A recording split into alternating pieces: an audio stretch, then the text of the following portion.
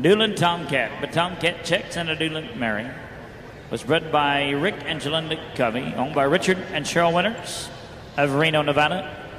Ridden by Sarah Dawson of Aubrey, Texas.